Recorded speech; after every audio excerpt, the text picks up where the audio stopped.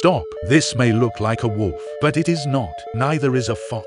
This is the maned wolf, Chrysocyon brachyurus. It's the largest wild dog species in South America. Looks like the head and coloring of a wolf, the large ears of an African hunting dog, and the body of a hyena. The maned wolf gets its name from the long mane and red hair that runs down its neck and back. It is known for its distinctive vocalizations, including a deep bark and a high-pitched whine that sounds like a bird's call. This species has long, slender legs that allow it to run quickly and jump high, making it an excellent hunter. Despite being a carnivore, the maned wolf's diet consists mainly of fruits and vegetables, particularly a fruit called the lobito, which is similar to a tomato. The maned wolf is a solitary animal and is mostly active at dawn and dusk. Their urine has a distinct odor, which is used to mark its territory and communicate with other members of its species. Something curious